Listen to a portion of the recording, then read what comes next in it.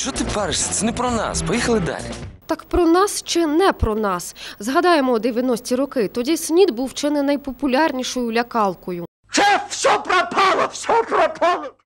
На початку епідемії нас лякали е, тим, що більша частина населення захворіє, біда чорна і так далі. Цього не відбувається. Тепер і Всесвітня організація охорони здоров'я, і тутешні медичні посадовці у висловлюваннях обережніші. Це хвороба, якою може заразитись кожний. Це перший міф. Це зовсім не так. Спілкування, поцілунки, рукостискання і навіть користування спільним посудом та рушниками не є способом передачі ВІЛ.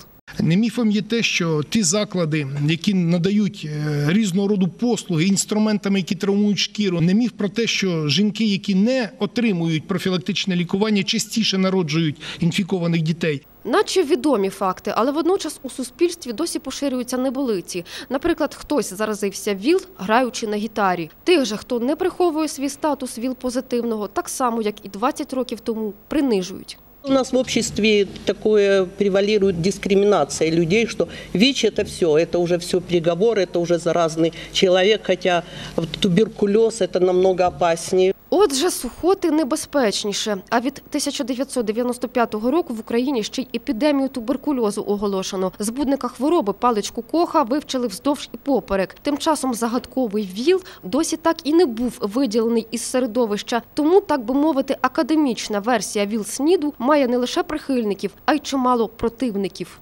Приймаючи 2000 року резолюцію 5 тисяч вчених, що СНІД таки є, маємо знати, що є такі, що кажуть протилежні річі. Маємо пам'ятати, що там, де гроші, там не все чисто.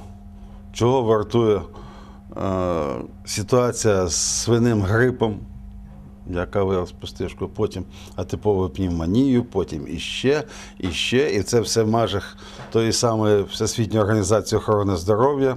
Для порівняння щорічно на Хмельниччині від серцево-судинних хвороб помирає більше 10 тисяч краян. Від СНІДу за 20 років менше 200 смертей. Щоправда, на облік щорічно потрапляють 300-500 жителів області як ВІЛ-позитивні. Раніше інфікувалися здебільшого наркозалежні, тепер основний спосіб зараження – статевий. Мы э, обучали э, наркозависимых лидеров безопасному поведению, и они передавали это все другим, грамотнее, иногда можно сказать, потребители, чем просто обыватели, которые живут, жители, которые живут в городе и просто не сталкивались с этой проблемой. Цьогоріч на лікування СНІДу та опортуністичних хвороб область отримала 17 мільйонів гривень.